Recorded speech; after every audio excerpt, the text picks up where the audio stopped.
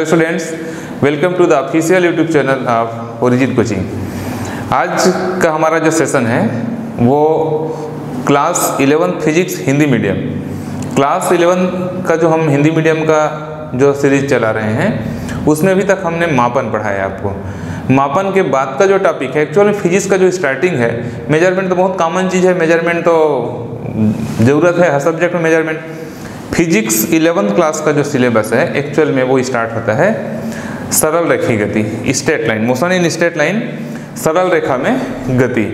यहाँ से हम फिजिक्स के बेसिक कॉन्सेप्ट को पढ़ेंगे और आपने नाइन्थ क्लास में जो फिजिक्स पढ़ा होगा, वो जो बेसिक चीज़ आप पढ़े, वो अब आपको डिटेल में पढ़ने को होगा।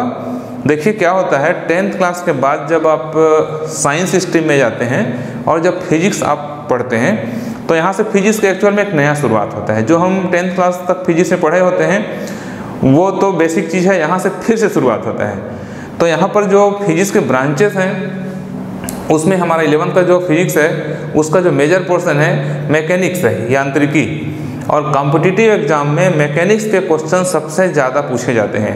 देखिए, जिन लोग कॉम्पिटिटिव का प्रिपरेशन करने के लिए आप लगे हैं, अभी से स्टार्ट किए हैं इलेवंथ क्लास से उन लोगों को मेरा एक सजेशन है कि आपका इलेवंथ और ट्वेल्थ दोनों क्लास का फिजिक्स को मिला के जब नीट या आईआईटी जेई का आपका जो क्वेश्चन पेपर बनता है, उसमें इलेवंथ क्लास का पोर्शन का जो क्वेश्चन आता है, उसका मेजर पोर्शन मैकेनिक्स से ही होता है, जिसकी आज मैं यहाँ पर शुरुआत कर रहा हूँ। तो मैकेनिक्स का जो पोर्शन है, वो आप बहुत ध्यान से समझिए और ये आपका इलेवंथ क्लास का सबसे इंपॉर्टेंट इसमें कई चैप्टर आपको पढ़ने होंगे। आज हम पढ़ेंगे जैसे सरल रेखा में गति, फिर समतल में गति पढ़ेंगे, फिर गति के नियम पढ़ेंगे, फिर वृत्ति गति पढ़ेंगे, घूर्णी गति पढ़ेंगे। जितना टॉपिक का मैंने आपको करीब सिक्स सेवन टॉपिक की स्टार्टिंग के कंप्लीट मैकेनिक्स हैं। दैट मीन्स यांत्रिकी है। क्लियर तो आज हम पढ़ेंगे। आप, हमारे चैप्टर का नाम है सरल रेखा में गति मोशन इन स्टेट लाइन तो यहाँ पर सबसे पहले हम देखेंगे इसके बेसिक चीज़ पर हम बात करें तो गति का हम सबसे पहले कॉन्सेप्ट समझेंगे, गति मोशन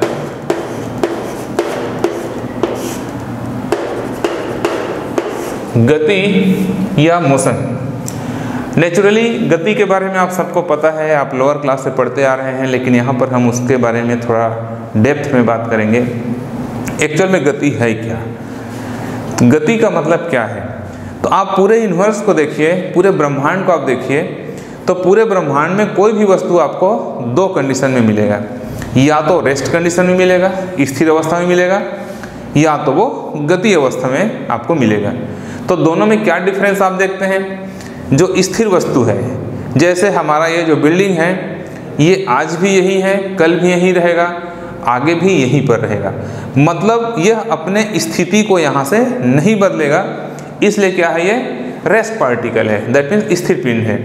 लेकिन सपोज़ मैं मैं खुद अपने आप का एग्ज़ाम्पल लूँ तो अभी मैं इस क्लासरूम में हूँ। थोड़ी देर बाद मैं कहीं और चला जाऊँगा, फिर और कहीं चले जाऊँगा। तो मैं क्या हो जाएगा moving moving particles moving body हो जाऊँगा। गतिशील पिंड हो जाऊँ, हो जाऊँगा। क्यों? क्योंकि मैं अपने पोजिशन को चेंज कर रहा हूँ। तो सीधी सी बात है मोशन या गति का मतलब होता है स्थिति में परिवर्तन। यदि कोई भी पार्टिकल कोई भी बॉडी अपने स्थिति में परिवर्तन करे तो किसके सापेक्ष? अब यहाँ सवाल यह है कि किसके सापेक्ष? तो सापेक्ष क्या होता है? किसी भी परिवर्तन के लिए हम फिजिक्स में जो सबसे इंपॉर्टेंट सापेक्ष लेते हैं, वो क्या है? समय। क्योंकि हर चीज़ पूरे ब्रह्मांड में समय के सापेक्ष बदल रहा है। समय किसी के सापेक्ष नहीं बदल रहा है। समय सापेक्ष नहीं है, समय क्या है? निरपेक्ष है। तो समय के साथ, इस तरह से हम गति का परिभाषा बहुत स्पष्ट शब्दों में कहें तो क्या कहेंगे? यदि कोई पिंड समय के साथ अपने स्थिति में परिवर्तन कर रहा हो तो हम उसे क्या कहते हैं? गतिशील पिंड कहते हैं या गति कहते हैं। अब यहाँ पर एक इंपॉर्टेंट बात यह है कि कभी कभी हम समय के सापेक्ष हम किसी वस्तु के गति को एक्सप्लेन नहीं कर सकते, तब हम किसके सापेक्ष करते हैं? किसी स्थिर पिंड के सापेक्ष। जैसे, मान लो, कोई भी वस्तु, जैसे यहाँ पर एक खंबा है सपोज़ ये पोल है, और ये कोई व्हीकल है, कोई ट्रेन है सपोज़ ये हमने ट्रेन सपोज़ कर लिया। अब ट्रेन गतिशील है, लेकिन ये खंभा क्या है अपनी जगह में? स्थिर है। तो इसके सापेक्ष ये अपनी स्थिति में परिवर्तन कर रहा है। इसके सापेक्ष अपनी स्थिति में परिवर्तन कर रहा है इसलिए हम ट्रेन को क्या कहेंगे? गतिशील पिंड कहेंगे। लेकिन आपने कभी कभी देखा होगा कि हमारे पास कोई सापेक्ष पिंड ना हो तो हम गति का अनुभव नहीं कर पाते। वैसे मैं आगे चल के जब इसके डेप्थ में जाऊँगा तो आपको जब रिलेटिव वेलोसिटी पढ़ाऊँगा, सापेक्षिक वेग या आपेक्षिक गति, तब इन चीज़ों का मैं आपको बहुत अच्छे से उसको कंपेरेटिवली एक्सप्लेन करूँगा। लेकिन एक छोटा सा एग्जांपल आपसे शेयर कर रहा हूँ। मैं देखिए, आप जब आप जब कार में बैठे होते हैं या जब आप बाइक में बैठे होते हैं तो आपको अपने गति का एहसास होता है। क्यों गति का एहसास होता है? क्योंकि जब आप कार में बैठे होते हैं तो आप बिल्डिंग को या पेड़ को या रोड के किनारे स्थिर पिंडों के सापेक्ष अपनी स्थिति को बदलते हुए महसूस करते हैं। तो आपको लगता है कि आप गतिशील हैं। लेकिन इमेजिन करिए, आप कल्पना कीजिए आप कि हम पृथ्वी में बैठे हैं। पृथ्वी पूरे ब्रह्मांड में, इस गैलेक्सी में, सूर्य के चारों ओर एक पथ पर चक्कर लगा रहे हैं, आप सबको पता है। दैट मीन्स हम पृथ्वी में बैठे हैं, पृथ्वी गतिशील बीट मेरा कंपैरिजन आप थोड़ा ध्यान देंगे ना। फिजिक्स इमेजिनेशन पर बेस्ड है। आपका इमेजिनेशन कैपेसिटी जितना अच्छा होगा, आप फिजिक्स को उतना अच्छा समझ पाएँगे। मैं बता रहा हूँ कि कार में बैठ के हम गति को महसूस कर पाते हैं, लेकिन पृथ्वी रूपी गतिशील पिंड में बैठ के हम गति को महसूस नहीं कर पाते। जबकि पृथ्वी की गति तो कार के कंपेरिजन में इतना अधिक है कि हमको एनी टाइम हमको मोशन का एहसास होना चाहिए। जैसे कार में बैठ के हम मोशन का एहसास करते हैं, गति का एहसास करते हैं। तो यहाँ पर वजह क्या है? क्या रीजन है? कि पृथ्वी भी गतिशील है। ये बात तो आप सबको पता है कि पृथ्वी स्थिर नहीं पृथ्वी गतिशील है। और हम उस गतिशील पिंड में सवार हैं। पृथ्वी हमारा वाहन है और उसमें हम सवार हैं, लेकिन हमको अपनी गति का एहसास नहीं होता। क्यों नहीं होता? क्योंकि पृथ्वी के सापेक्ष हमारे आसपास कोई स्थिर पिंड नहीं है। आप मेरे एग्ज़ाम्पल समझ रहे हैं? कार के सापेक्ष स्थिर पिंड है, कार के सापेक्ष रोड के बगल में बने बिल्डिंग है तो हमको एहसास होता है कि हम उससे दूर जा रहे हैं। लेकिन पृथ्वी के सापेक्ष हमारे आसपास हैं, लेकिन हमको दिखाई नहीं देते। यदि हम जुपिटर से मार्स से और किसी और ग्रह से तुलना करें, हमको दिखाई नहीं देता। तो पृथ्वी में गति का एहसास नहीं होता। इस प्रकार मैं आपको ये बताना चाह रहा हूँ कि गति सापेक्ष है। दैट मीन्स हमको गति का एहसास तभी होता है जब हम उस पिंड का किसी दूसरे पिंड के साथ में क्या करते हैं? तुलना करते हैं। इस प्रकार हम यहाँ पर क्या कर सकते हैं कि यदि कोई पिंड किसी स्थिर पिंड के सापेक्ष, ऐसा भी कर सकते हैं ना, यदि कोई पिंड किसी स्थिर पिंड के सापेक्ष अपने स्थिति में परिवर्तन करे तो उसे हम क्या कहते हैं? गतिशील पिंड कहते हैं या गति कहते हैं। अब जब हम गति पढ़ते हैं तो इसमें कुछ टर्म्स यूज़ होते हैं। देखिए, एक बात आप हमेशा ध्यान में रखना कि इसीलिए जब मैं अपना क्लास स्टार्ट करता हूँ तो स्टार्टिंग में इंट्रोडक्शन में आपको बताता हूँ। जैसे मैं बोला, आज हमारा मैकेनिक्स स्टार्ट हो रहा है। तो कोई भी क्लास जब स्टार्ट करता हूँ मैं तो पहला दिन का जो क्लास होता है दैट मीन्स मेरा जो फ़र्स्ट वीडियो होता है फ़र्स्ट लेक्चर होता है वो सबसे ज़्यादा इंपॉर्टेंट होता है। क्योंकि उस दिन के क्लास में मैं पूरा आगे जितने उसके पार्ट पढ़ाऊँगा सब के फंडामेंटल पर मैं कम्प्लीटली डिस्कस करता हूँ। इसलिए आप सबसे मेरा रिक्वेस्ट है कि फ़र्स्ट नंबर का वीडियो आप कभी मिस मत करिए, उसको बहुत ध्यान से देखिए तो फिर सेकंड थर्ड फोर्थ नंबर का आपको बहुत अच्छे से समझ में आएगा, क्योंकि पहले दिन मैं उसके कॉन्सेप्ट पर डिटेल डिस्कस करता हूँ। आज का हमारा जो वीडियो है, उसमें मैं पूरा मोशन से रिलेटेड मोशन से रिलेटेड जितने भी हमारे बेसिक कॉन्सेप्ट है, वो सब आपको बताऊँगा। तो देखिए, यहाँ पर अब मैं आपको जो सबसे इंपॉर्टेंट इसमें कॉन्सेप्ट है, वो है दूरी और विस्थापन। दूरी, जिसको हम इंग्लिश में कहेंगे डिस्टेंस यहाँ मैं एक चार्ट के फॉर्म में आपको एक्सप्लेन कर रहा हूँ, और विस्थापन। विस्थापन डिस्प्लेसमेंट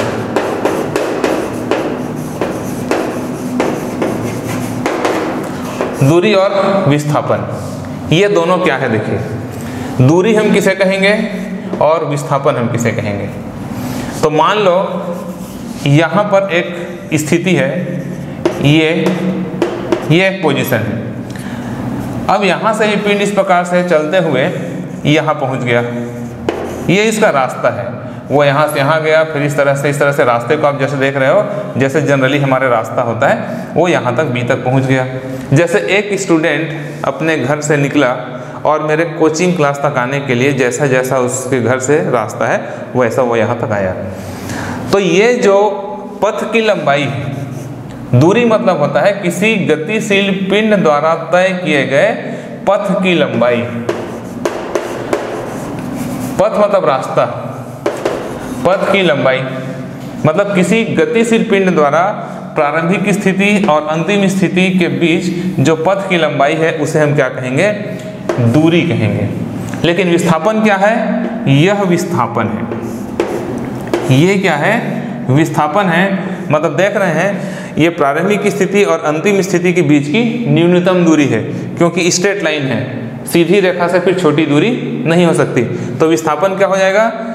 किसी गतिशील पिंड के प्रारंभिक स्थिति और अंतिम स्थिति के बीच की न्यूनतम दूरी को क्लियर न्यूनतम दूरी को या लंबवत दूरी को हम क्या कहते हैं? विस्थापन कहते हैं। इस प्रकार आप देख रहे होंगे कि दूरी में पिंड कभी भी अपनी दिशा को बदल ले रहा है। दैट मीन्स दूरी क्या है?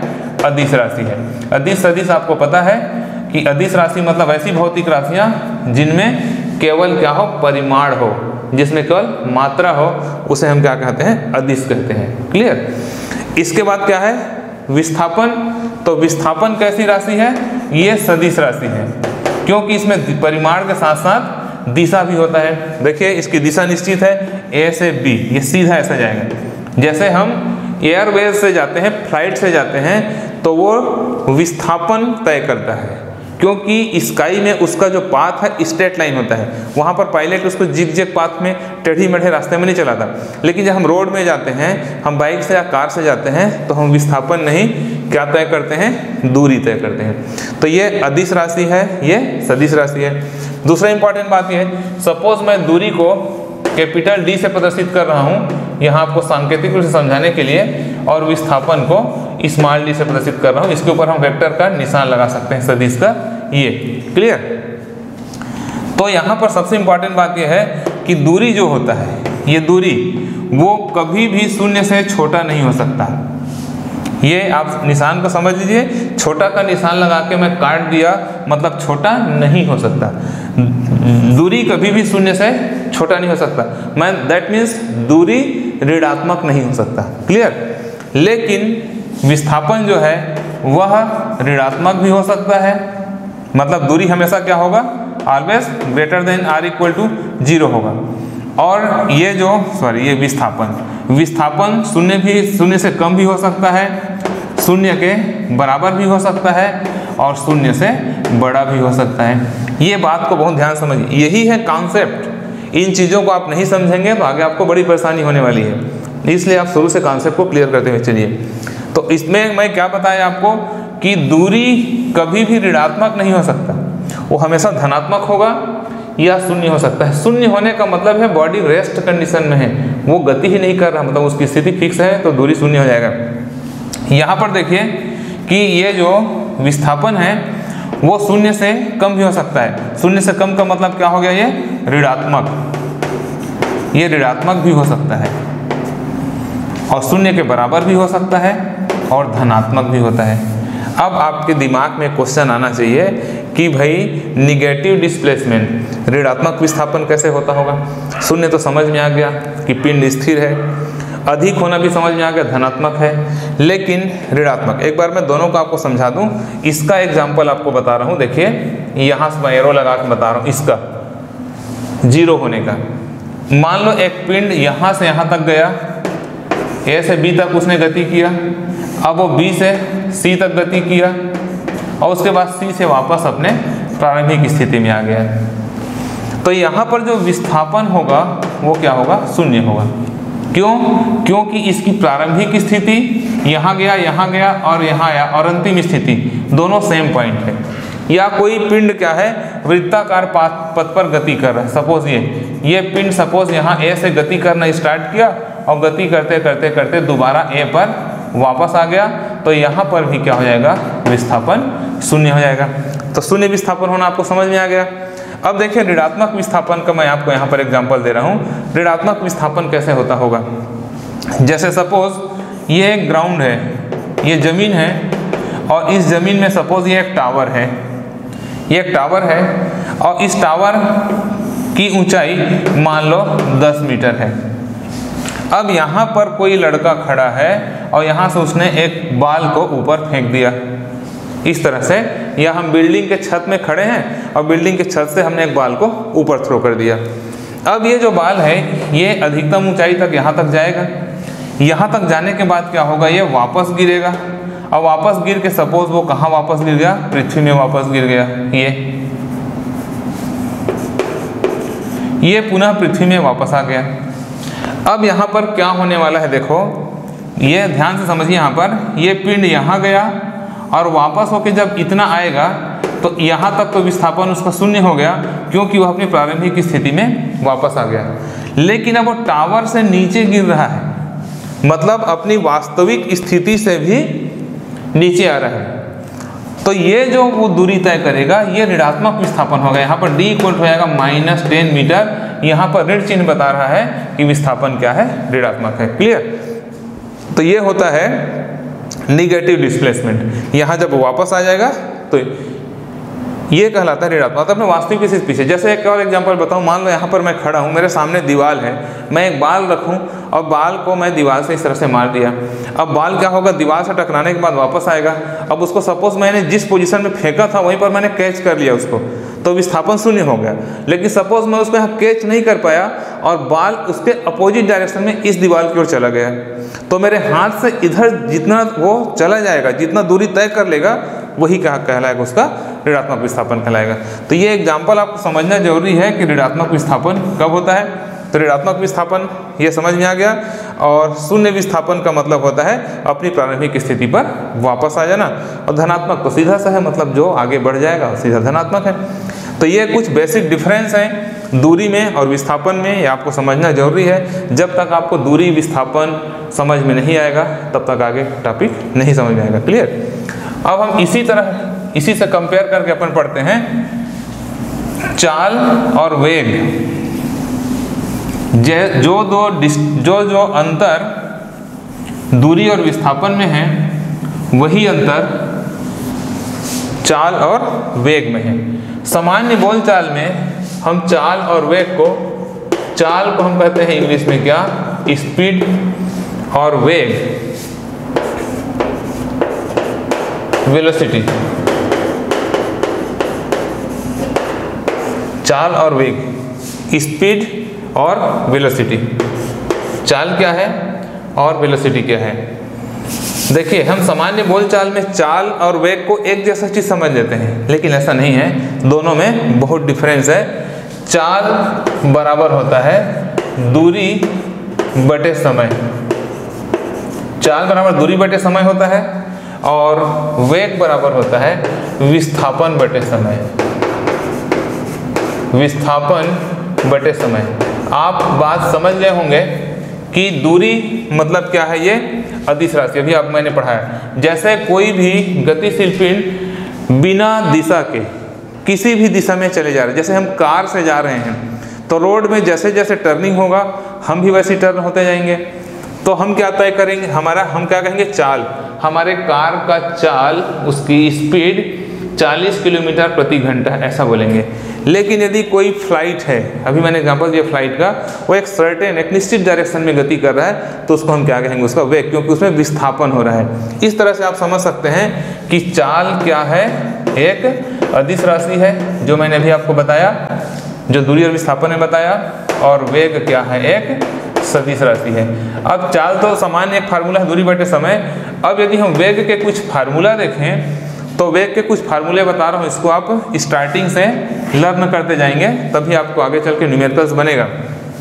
तो वेग को अपन वी से प्रदर्शित करें तो वी बराबर मान लो विस्थापन को a से प्रदर्शित करें तो एस अपान टी होता है। एक फार्मूला ये मैंने बताया कि v equal to s upon t जो जनरली हम लोअर क्लास में भी यूज़ करते हैं, वेग बराबर विस्थापन बटे समय। दूसरा फार्मूला मैं आपको सदिश के रूप में बता रहा हूँ तो ये v इक्वल टू हम लिख सकते हैं x t minus x naught upon t अब यहाँ पर आप समझिए एक्स टी क्या है? खेतों को आप समझिए। तो एक्स टी का मतलब क्या है? किसी पिंड का टी समय में स्थिति। और एक्स नाट क्या है? किसी पिंड का शून्य समय में स्थिति। मतलब टी समय में स्थिति में शून्य समय मतलब प्रारंभिक स्थिति। जैसे एक पिंड ऐसा गति करना शुरू किया तो ये कहलाएगा एक्स नाट क्योंकि यहाँ से स्टार्ट किया था, और ये क्या कहलाएगा? अब ये, ऐसा कर दिया मैं इसको एक्स टी तो एक्स टी में एक्स नाट को माइनस करेंगे तो विस्थापन मिलेगा। तो यह कहलाता है विस्थापन इस रूप में। मतलब इसके लिए आसान शब्दों में कहें तो अंतिम स्थिति ऋण, प्रारंभिक स्थिति, बटे समय। और तीसरा फार्मूला है, जो कैलकुलस का फार्मूला है, वो है v equal to d s upon d t मतलब यदि हम विस्थापन का। यदि हम विस्थापन का समय के सापेक्ष अवकलन करें तो हम उसको क्या कहेंगे? वेग कहेंगे। एक इंपॉर्टेंट सूचना आप लोग के लिए ये है कि आप सबके सब, जितने भी इलेवेंथ क्लास के स्टूडेंट हैं, वो सबके सब, सबसे पहले मेरा जो गणितीय अवधारणा मैथमेटिकल कॉन्सेप्ट पर जो मैंने पाँच वीडियो बनाया हुआ है, जो आप प्लेलिस्ट में जाइए, और प्लेलिस्ट में आपको इंग्लिश में लिखा होगा मैथमेटिकल कॉन्सेप्ट। वहाँ पर आप परेशान मत होना कि सर तो इसको इंग्लिश लैंग्वेज में, इंग्लिश मीडियम। मैथमेटिक्स का कोई लैंग्वेज नहीं। मैथमेटिक्स दोनों लैंग्वेज में कॉमन समझ में आ जाता है। तो वहाँ पर आप उस वीडियो को ज़रूर देखिए। बहुत अच्छे से उसको तैयारी कीजिए, जिसमें फ़र्स्ट वीडियो में आपको बाइनोमियल थ्योरम, जिसको हम हिंदी में द्विपद प्रमेय कहते हैं, और फिर उसके बाद कैलकुलस, फिर वेक्टर एलजेब्रा, सदिश सदिश सदिश, ये सब मैंने पढ़ाया हुआ है। यदि आपको कोई प्रॉब्लम होता है तो आप मेरे कमेंट्स बॉक्स में लिखिए कि कोई प्रॉब्लम हो रहा है तो। अदरवाइज़ वो पाँच वीडियो आप ज़रूर देखिए, क्योंकि मैं जब अब फिजिक्स अब स्टार्ट कर रहा हूँ आपका आगे का तो आपको जगह जगह गणित के सूत्रों का ज़रूरत पड़ेगा। कहीं जगह हम कैलकुलस का यूज़ करेंगे, अवकलन करेंगे, समाकलन करेंगे, वो सब मैंने पढ़ाया हुआ है। तो इसलिए उसको आपको देखना ज़रूरी है। जैसे अब मैं यहाँ पर इसको लिख रहा हूँ, अब आपको समझ में नहीं आया कि डी एस बटे डी टी क्या है तो परेशानी होगी। इसलिए आप उसको ज़रूर देखिए और आपको कोई भी परेशानी है, मुझे कमेंट्स करिए, मैं आपको बताऊँगा। ठीक है? इस तरह से क्या है? हम ये तीन सूत्र आप लर्न करिए, वेग निकालने का। ज़रूरत के हिसाब से कभी हम इसको यूज़ करते हैं, इसको यूज़ करते हैं और इसको यूज़ करते हैं। तो ये हुआ चाल और वेग। अब हम देखते हैं त्वरण और मंदन। ये टर्मिनोलॉजी आपको समझना सबसे पहले इंपॉर्टेंट है ना? त्वरण इंग्लिश में बोलते हैं एक्सलरेशन। त्वरण क्या है? और फिर मैं बताता हूँ मंदन क्या है। त्वरण का मतलब होता है वेग में परिवर्तन। त्वरण को हम प्रदर्शित करते हैं एस है, जो कि सदिश राशि है तो उसके ऊपर सदिश का निशान लगा दिया। और ये होता है v minus u upon t ये त्वरण निकालने का फार्मूला है। यहाँ पर v क्या है? अंतिम वेग है। U क्या है? प्रारंभिक वेग है और टी क्या है? समय। तो हम इसको शब्दों में क्या कहेंगे? वेग परिवर्तन। वेग में परिवर्तन और बटे क्या है ये? समय। तो वेग परिवर्तन की दर को हम क्या कहते हैं? त्वरण कहते हैं। वेग में परिवर्तन की दर को त्वरण कहते हैं। ये इसकी परिभाषा है। मतलब यदि किसी पिंड के वेग में परिवर्तन हो रहा है, इसी एक्सेलरेशन से बना हुआ है हमारे गाड़ी का एक्सेलरेटर एक्सेलरेटर मतलब जैसे हम बाइक चलाते हैं तो एक्सलेटर को जब हम इंक्रीज करते हैं, बढ़ाते हैं तो गाड़ी की स्पीड बढ़ता है। क्यों? क्योंकि हम उसकी गति को बढ़ा रहे हैं। तो एक्सलेशन मतलब होता है वेग में परिवर्तन। तो त्वरण का परिभाषा क्या हो जाएगा? वेग परिवर्तन की दर को त्वरण कहते हैं। और ये इसका फार्मूला है, यहाँ पर आप याद रखना। यहाँ पर भी क्या है? अंतिम वेग है। भी अंतिम वेग है। और u क्या है? प्रारंभिक वेग है। और टी तो आपको सबको पता है। टी क्या है यहाँ पर? समय है। तो वेग परिवर्तन की दर को त्वरण कहते हैं और कैलकुलस में इसको निकालने का फार्मूला है ए इक्वल टू होता है d v upon d t मतलब यदि हम वेग का समय के सापेक्ष अवकलन कर दें तो क्या निकल जाएगा वो? त्वरण निकल जाएगा। क्लियर इस प्रकार से। और इसका यूनिट क्या होता है? यूनिट होता है metre second to the power minus two मतलब मेकर मीटर सेकंड इनवर्स ठीक है?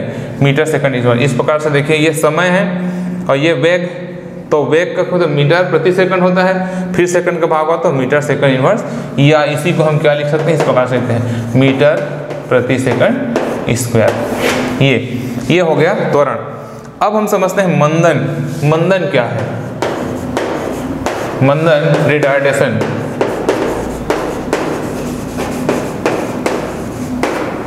मंदन मतलब देखो त्वरण और मंदन दोनों एक जैसा ही चीज़ है। ये भी वेग में परिवर्तन है और ये भी वेग में परिवर्तन है। लेकिन दोनों में एक डिफरेंस है। त्वरण में हमेशा पिंड के गति में वृद्धि होती है। जैसे मैंने अभी एग्जांपल दिया कि हम गाड़ी का एक्सलेटर देते हैं तो गाड़ी की स्पीड बढ़ती है। लेकिन सपोज़ हमको बाइक को रोकना है या कार को रोकना है तो हम उसमें ब्रेक लगाते हैं। तो ब्रेक लगाने से भी वेग में परिवर्तन होता है, लेकिन उसमें कमी के रूप में। तो उसे हम क्या कहेंगे? मंदन। मतलब मंदन भी वेग में परिवर्तन है, लेकिन कमी के सेंस में है। यहाँ पर वेग में कमी होती है। इस प्रकार से इसका परिभाषा होता है एक्चुअल में जो ऋणात्मक त्वरण है। ऋणात्मक त्वरण को हम क्या कहते हैं? मंदन कहते हैं। इसका सीधा से परिभाषा है। ऋणात्मक त्वरण मतलब निगेटिव डिस्प्लेसमेंट को, और इसको हम माइनस ए से प्रदर्शित करते हैं। यदि त्वरण के सामने ऋण का चिन्ह लगा हो, यदि त्वरण के सामने जैसे किसी पिंड का हम त्वरण निकाले, अब वो हमको मिल गया minus twenty metre per second square तब हम वो त्वरण नहीं, उसको मंदन कहेंगे, क्योंकि उसका वैल्यू किसमें आ रहा है? ऋणात्मक में। तो ऋणात्मक त्वरण को हम क्या कहते हैं? मंदन का दोनों का यूनिट सेम है। क्लियर नेक्स्ट टॉपिक एक समान गति। एक समान गति।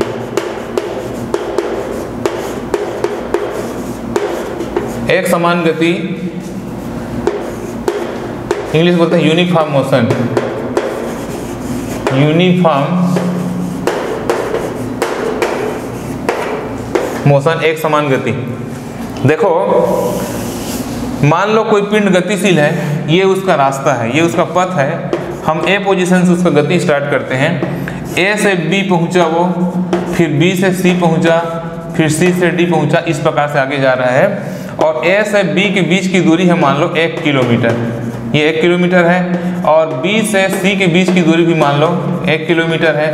सी से डी के बीच की दूरी भी क्या है, एक किलोमीटर है। अब ए से बी तक की दूरी तय करने में मान लो पिंड ने दो घंटे का समय लिया। और बी से सी तक की गति करने के लिए भी उसने सपोज़ दो घंटे का समय लिया। और सी से डी तक के लिए भी दो घंटे का समय लिया। अब इस एग्ज़ाम्पल में आप समझ रहे होंगे कि ये जो गतिशील पिंड है, वह समान दूरी, देखो ये भी एक किलोमीटर, ये भी एक किलोमीटर, ये भी एक किलोमीटर, समान दूरी, समान समय अंतराल में तय कर रहा है। इसको भी दो घंटा, इसको भी दो घंटा, इसको दो घंटा। तो इस प्रकार की गति को हम क्या कहेंगे? एक समान गति कहेंगे यूनिफॉर्म मोशन कहेंगे। तो परिभाषा क्या हो जाएगी इसका? यदि कोई पिंड समान दूरी, यदि कोई पिंड समान दूरी, समान समय अंतराल में तय करे, तब हम उस पिंड की गति को क्या कहते हैं? एक समान गति कहते हैं यूनिफॉर्म मोशन कहते हैं क्लियर और एक इंपॉर्टेंट बात ध्यान रखना आप यहाँ पर कि जब कोई भी पिंड एक समान गति करता है तो उसका त्वरण क्या होता है? ज़ीरो होता है। क्यों ज़ीरो होगा? क्योंकि वेग में परिवर्तन ही नहीं हो रहा है। अभी हमने पढ़ा है, वेग परिवर्तन की दर को त्वरण कहते हैं। यहाँ तो वेग में परिवर्तन ही नहीं हो रहा है। वेग क्या है? नियत है। मतलब भी को हम क्या कहते हैं यहाँ पर? नियत कहते हैं कांस्टेंट तो एक समान गति में वेग नियत होता है और त्वरण क्या होता है? शून्य होता है। और इसके साथ अपन पढ़ते हैं, असमान असमान गति नॉन यूनिफॉर्म मोशन आपको मैं सभी टर्म को इंग्लिश में इसलिए बता रहा हूँ, मेरा शुरू से बेसिक नेचर है कि मैं हिंदी मीडियम के क्लास में कम से कम टर्मिनोलॉजी को इंग्लिश में ज़रूर बताता हूँ। वो इसलिए भी ज़रूरी है कि आप में से जितने भी स्टूडेंट जब आगे चल के कॉम्पिटिटिव एग्ज़ाम का प्रिपरेशन करेंगे तो आपको कुछ स्टैंडर्ड क्वेश्चन इंग्लिश मीडियम में ही मिलेंगे। दूसरा इंपॉर्टेंट बात यह है कि जब आप after twelfth class higher education के लिए जाएँगे सपोज़ आपका नीट में सिलेक्शन हो गया सपोज़ आप इंजीनियरिंग करने चले गए आईआईटी में चले गए, तब आपकी पढ़ाई कंप्लीट इंग्लिश मीडियम में होगी। तो हिंदी मीडियम स्टूडेंट्स को मेरा सजेशन है कि कम से कम बिगिनिंग से स्टार्टिंग से, आप पूरा सब चीज़ इंग्लिश में मत पढ़ो, लेकिन आपको नाम कम से कम इंग्लिश में होना चाहिए, उसका हैबिट डालो। शुरू में कठिन लगेगा, हो सकता है आपको थोड़ा सा बर्डन लगे, लेकिन उसे भागो मत। इसीलिए आप वाच कर रहे होगे कि हर टर्म को मैं इंग्लिश में बता रहा हूँ। तो ये चीज़ आप हमेशा ध्यान रखना, वो आपको आगे के लिए लाभदायक है। क्लियर तो असमान गति क्या होगा देखो, यहाँ पर ये पथ मान लो मैं लिया ए बी सी डी इस तरह से। ये एक किलोमीटर है, ये भी एक किलोमीटर है, ये भी एक किलोमीटर है, लेकिन पिंड यहाँ से यहाँ तक मान लो दो घंटे में गया, और बी से सी तक जाने में उसने तीन घंटा का समय ले लिया। फिर सी से डी तक वो एक घंटे में ही तय कर दिया।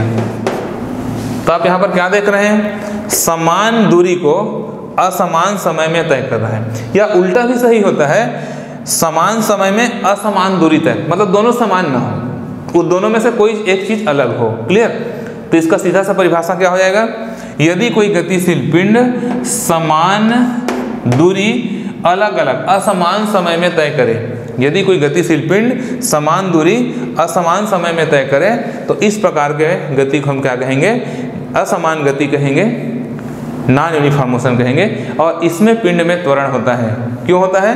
क्योंकि इसमें वेग में परिवर्तन हो रहा है। वेग परिवर्तन को हम त्वरण कहते हैं तो यहाँ तो वेग बदल रहा है। यहाँ पर वेग नहीं बदल रहा है इसलिए त्वरण क्या है? शून्य है। तो ये दोनों बात आप ध्यान में रखेंगे क्लियर अब हम पढ़ते हैं इसका लास्ट टर्म है, वो है तात्क्षणिक वेग।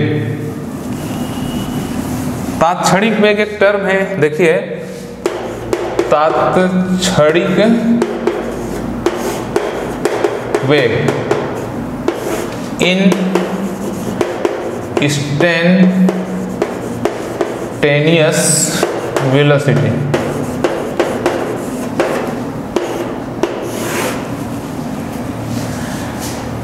in instantaneous velocity या तात्क्षणिक वेग का परिभाषा क्या होता है देखो?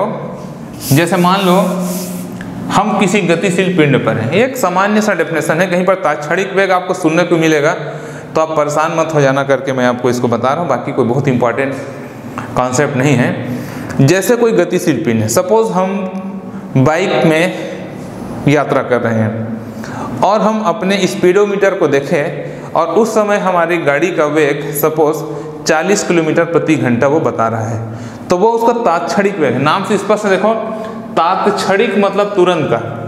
तुरंत एट ए टाइम मतलब किसी गतिशील पिंड का तुरंत का वेग जो होता है, वो उसका तात्क्षणिक, क्योंकि वेग घट रहा है या बढ़ रहा है, लेकिन तुरंत, ठीक 10 बजे, ठीक 10 बजे उसका वेग कितना था तो इतना था, वो उसका क्या हो जाएगा? तात्क्षणिक वेग हो जाएगा, और इसका कोई मैथमेटिकल कॉन्सेप्ट नहीं है, ठीक है? तो ये है इसका टर्मिनोलॉजी अब हम देखिए, इस चैप्टर में जो सबसे इंपॉर्टेंट चीज़ होता है, वो है ग्राफ जिसको हमको स्टार्टिंग में समझना है। ग्राफ समझने के लिए, देखिए ग्राफ इस चैप्टर का बहुत इंपॉर्टेंट चीज़ है। मैं हमेशा एक डिस्कस करता हूँ कि बहुत से स्टूडेंट क्या करते हैं ग्राफ को सिंसियर होकर प्रिपरेशन नहीं करते। या इवन टीचर्स भी ग्राफ को क्या करते स्केप कर देते हैं। ग्राफ है पढ़ लेना, ऐसा नहीं। कॉम्पिटिटिव एग्ज़ाम में ग्राफ ज़रूर आता है। आप किसी भी कॉम्पिटिटिव एग्ज़ाम के पेपर को निकाल के देखिए तो आपको उसमें बहुत सारे ग्राफ के क्वेश्चन मिलेंगे। इसलिए ग्राफ को आपको ढंग से समझना है। तो यहाँ पर हम ग्राफ पढ़ना स्टार्ट करते हैं। सबसे पहले हम पढ़ेंगे, ये जो ग्राफ मैं पढ़ रहा, बता रहा हूँ, वो क्या है? एक समान एक समान गति के लिए। या एक समान चाल, गति कहें, एक समान चाल कहें, वो सब एक ही मतलब है। एक समान चाल के लिए ग्राफ पढ़ रहे हैं। और पहला ग्राफ है हमारा सपोज़ वेग समय ग्राफ वेग समय ग्राफ शार्ट फॉर्म में इसको हम वीटी ग्राफ बोलते हैं वेलोसिटी टाइम ग्राफ वेग और समय के बीच में खींचा गया ग्राफ वीटी ग्राफ कहलाता है। ये ग्राफ को आपको अच्छे से तैयार करना है, क्योंकि इसमें न्यूमेरिकल क्वेश्चन बहुत बनते हैं। तो वेग और समय के बीच में हम ग्राफ ग्राफ करें और एक चीज़ आप ध्यान रखना, यह एक समान चाल के लिए है। जो भी हम ग्राफ बना रहे हैं, उसमें पिंड का चाल क्या है? एक समान है। मतलब ही क्या है? नियत है। अब ये हमने ले लिया एक्स एक्सिस ये ले लिया वाई एक्सिस और ये इसका मूल बिंदु है। एक्स एक्सिस में हमने सपोज़ ले लिया समय को, ये टाइम को एक्स एक्सिस में ले लिया और यहाँ पर ले लिया इसके वेग को। जिसको हम वी से प्रदर्शित कर रहे हैं, ये। अब सपोज़ ये एक पोजीशन है ए और यहाँ पर समय टी है। तो टी समय पर मान लो पिंड का वेग ये है वी यहाँ तक मान लो वी है ग्राफ में ये वी डिस्टेंस है। वी वेग है ना सॉरी डिस्टेंस से वेग है, ये। तो ये वी है। तो टी समय पर वेग v है। अब समय टी से परिवर्तित होके सपोज़ क्या हो गया? टी डेस हो गया। क्योंकि समय तो लगातार बदल रहा है। समय स्थिर नहीं है। समय तो लगातार बदल रहा है। तो टी समय पर पिंड का वेग भी था। तो टी डैश समय पर पिंड का वेग क्या हो जाएगा? तब भी v रहेगा। क्योंकि क्या है? एक समान चाल है। और एक समान चाल में क्या होता है? भी नियत होता है। भी नहीं बदलता। इस प्रकार से टी डैश समय पर भी वेग भी ही होगा। तो हम समय में आगे बढ़ रहे हैं, लेकिन वेग वही रहेगा। अब ये चारों बिंदु को मिला दिया जाए तो हमको यहाँ पर ये आयत मिल जाएगा। सपोज़ इस बिंदु का नाम ए है, इसका ए डैश है, इस बिंदु का नाम बी है, और सपोज़ इसका बी डैश है। तो यहाँ पर हमको A A dash B dash B एक आयत मिलेगा। यहाँ आप फिगर में देख रहे हैं, ये एक आयत है। अब ये ग्राफ के बारे में हम यहाँ पर एक्सप्लेन करें कि ग्राफ में कौन कौन सी दूरी क्या है। तो ग्राफ के नीचे आप लिखेंगे यहाँ करके। तो यहाँ आप देखो, ओ से लेकर बी तक। ओ से लेकर बी तक क्या है? टी डैश है और ओ से लेकर ए तक क्या है? टी है। मतलब यहाँ पर यदि हम ए बी लिखें, ए बी, चित्र में आप देखिए, ये ए बी, उसको हम क्या लिख सकते हैं? O B minus O A. O B minus O A और ओ बी क्या है? टी डैश और ओ क्या है? टी। मतलब यहाँ पर जो ए बी जो दूरी है, उसको हम समय के रूप में क्या लिख सकते हैं? टी डैश माइनस टी लिख सकते हैं। उसी प्रकार से आप वेग को देखो। ये ए ए डैश बराबर होगा बी बी डैश के। क्यों? क्योंकि आमने सामने की भुजा बराबर होती है आयत में। तो ये हो जाएगा ए ए डैश बराबर बी बी डैश और बराबर हम क्या लिख सकते हैं? भी लिख सकते हैं। ये यहाँ ग्राफ में ये दूरी को इस प्रकार से प्रदर्शित किया गया है। दूरी दूरी के रूप में ऐसा है, लेकिन समय के रूप में ये, दूरी के रूप में ये है और वेग में ऐसा। अब यहाँ पर भी हम लिखें विस्थापन या वेग। वेग बराबर होता है, वेग बराबर अभी आपने पढ़ा है क्या? विस्थापन बटे समय। यदि इस फार्मूला को हम विस्थापन के लिए लिखें तो समय किधर ट्रांसफ़र कर देंगे? तो इसको हम क्या लिख सकते हैं? विस्थापन बराबर ये हो जाएगा। वेग गुणित समय। दैट इम्प्लाइज विस्थापन का संकेत एस होता है। एस से प्रदर्शित कर दें इसको। और वेग हमारे पास क्या है? वी और गुणित समय क्या है? टी डैश माइनस टी क्योंकि समय जो हमने यूज़ किया है, अंतिम समय ऋण प्रारंभिक समय। ये हो जाएगा। दैट इम्प्लाइज आगे हम s इक्वल टू क्या लिख सकते हैं? वेग वेग को क्या लिख सकते हैं? ए ए डैश क्योंकि वेग को ग्राफ में हमने ए ए डैश के दूरी के रूप में प्रदर्शित किया है तो हो जाएगा ए ए डैश और Gudi t dash minus t t dash minus t क्या है? ए बी है. ये हो जाएगा A B that implies s equal to ये लंबाई गुणित चौड़ाई. लंबाई गुणित चौड़ाई. तो किसी भी आयत की लंबाई बुरी चौड़ाई को हम क्या कहते हैं? आयत का क्षेत्र, क्षेत्रफल कहते हैं। तो एस बराबर हो जाएगा आयत A A dash, B dash B का क्षेत्रफल। तो यहाँ पर आप ध्यान दीजिए, यहाँ पर जो रिज़ल्ट निकला, वो बहुत इंपॉर्टेंट है। कि सपोज़ हमको किसी न्यूमेरिकल में इस प्रकार से कोई ग्राफ दिया हो और हमको पिंड का विस्थापन पूछ रहा हो तो हम क्या निकालेंगे? आयत का क्षेत्रफल निकालेंगे। या उस चित्र में जो भी हमको क्षेत्र मिलेगा उसका क्षेत्र। कोई ज़रूरी नहीं, आयत ही मिले। वहाँ त्रिभुज मिल जाए और कुछ मिल जाए। तो जो भी वहाँ पर चित्र में मिलेगा, उसको हम क्या निकालेंगे? क्षेत्रफल निकालेंगे। तो इस इस टॉपिक का जो कॉन्सेप्ट है, वो क्या है? यदि एक समान गति करने वाले या एक समान गति करने वाले पिंड के वेग तथा समय के बीच में ग्राफ खींचा जाए तो पिंड का जो विस्थापन होता है, वह उस ग्राफ में बने क्षेत्रफल के बराबर होता है। ये कॉन्सेप्ट आपको ध्यान में रखना है और ये आपको न्यूमेरिकल्स में बहुत ज़्यादा काम आएगा, ये आप ध्यान रखना। तो ग्राफ बहुत इंपॉर्टेंट है और ये रिज़ल्ट आपको याद रहना चाहिए। इसके बाद सेकंड नंबर का हम ग्राफ पढ़ते हैं, स्थिति समय ग्राफ और समय के बीच में ग्राफ खींचे हैं। अब हम पढ़ेंगे स्थिति और समय के बीच में ग्राफ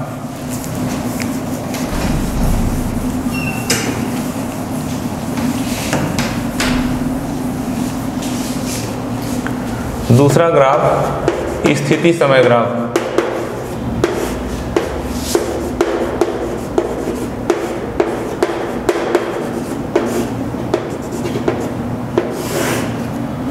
यह कहलाता है position time graph ST graph position और टाइम के बीच में ग्राफ स्थिति और समय के बीच में ग्राफ यह ग्राफ थोड़ा आप ध्यान समझिए। ये इसी तरह से हम ले लेते हैं। एक्स एक्सिस ये वाई एक्सिस एक्स एक्सिस में हम टाइम को ले लेते हैं, ये टी और दूसरा पोजीशन इस स्थिति में ले लेते इसमें लेते हैं अपन पोजीशन को। ये मैं इंग्लिश में लिख दिया पोजीशन ये हमने पोजीशन को ले लिया, ये मूल बिंदु है। अब आप देखिए कि यहाँ पर सपोज़ समय t है, और t पर पिंड की स्थिति ये है जिसको मैंने कह दिया एक्स टी अभी आपको मैं समझाया हूँ एक्स के बाद अंदर में ब्रैकेट में टी लिखने का मतलब होता है टी समय पर पिंड की स्थिति। तो ये हो गया, अब समय आगे बढ़ के सपोज़ टी डेस हो गया। तो अब यहाँ पर देखिए, स्थिति सीधा रेखा नहीं जाएगा, क्योंकि स्थिति स्थिर नहीं है। भले ही एक समान चाल है, वेग नियत है, लेकिन पिंड का वेग नियत होने पर पोजीशन नियत नहीं होता। जैसे मान लो कोई पिंड 20 मीटर प्रति सेकंड के स्पीड से गतिशील है तो क्या एक जगह में खड़ा रहेगा? नहीं रहेगा। वो अपनी स्थिति को तो बदलेगा। तो जब इस समय बदलेगा तो स्थिति भी बदल जाएगा। ये सपोज़ इसका कंडीशन है एक्स टी डेस तो ग्राफ यहाँ पर ऐसा बनेगा। अब ये हमने इसको मिला दिया। इसके बाद मान लो इस बिंदु का नाम ए है, इसका नाम ए डैश है। सपोज़ ये बी है। ये बी डैश है और यहाँ पर हम एक रचना करते हैं। ए डैश से बी बी डैश पर क्या करते हैं? लंब डालते हैं ये। इसको संपूर्ण त्रिभुज बनाने के लिए और इस कोण का नाम मान लेते हैं। थीटा, मान लो ये थीटा है। तो ये हमारा एक ग्राफ है स्थिति और समय के बीच में। अब हम यहाँ पर उस बात को एक्सप्लेन करेंगे। जैसे वहाँ किए थे, यहाँ करके यहाँ क्या क्या है देखिए। यहाँ पर ये ये जो डिस्टेंस है ए बी जो पहले आपको बता चुका हूँ मैं ए बी इक्वल टू हो जाएगा ओ बी माइनस ओ ए जो कि हो जाएगा टी डैश माइनस टी के बराबर। क्लियर यहाँ तक? ये हो जाएगा किसका मान? ए बी का। अब ये क्या है देखिए? A A dash x t है। ए ए डैश और जो कि बराबर है, ये बराबर होगा किसके? इसके? आमने सामने की भुजा है तो बी सी के बराबर होगा। बी सी के। और इसको हमने क्या लिया है? यहाँ से यहाँ तक की पोजीशन को क्या लिया? है एक्स टी तो ये हो जाएगा। एक्स टी क्लियर और ये जो पूरा डिस्टेंस है B B dash B B dash equal to क्या है? एक्स टी डैश है। अब हम सिर्फ़ ये निकालना चाहें, क्या? बी डैश सी तो बी डैश सी बराबर, इस दूरी को देखिए। बी डैश सी को हम क्या लिख सकते हैं? B B dash B B dash और माइनस बी सी मतलब यहाँ पर इस इस बड़ी दूरी में, इस छोटी दूरी को घटाया जाए तो ये वाला दूरी मिलेगा। तो B dash C equal to हो जाएगा B B dash minus B C that equal B B dash B B dash का वैल्यू हम यहाँ पर निकाल कर रखे हैं क्या? X t dash x t dash minus B C तो बी सी कितना हो जाएगा? एक्स टी ये ऊपर नीचे नीचे लिखेगा अपन एक्स टी इन दूरियों को हम यहाँ पर इस प्रकार से निकाल के रख देंगे कि कौन कौन सा दूरी क्या है। तो ग्राफ बनाने के बाद इसको एक्सप्लेन करना है कि कौन सी दूरी किस फॉर्म में है। अब यहाँ पर हम निकालेंगे वेग बराबर। वेग बराबर विस्थापन बटे समय। तो वेग ही बराबर विस्थापन क्या हो जाएगा?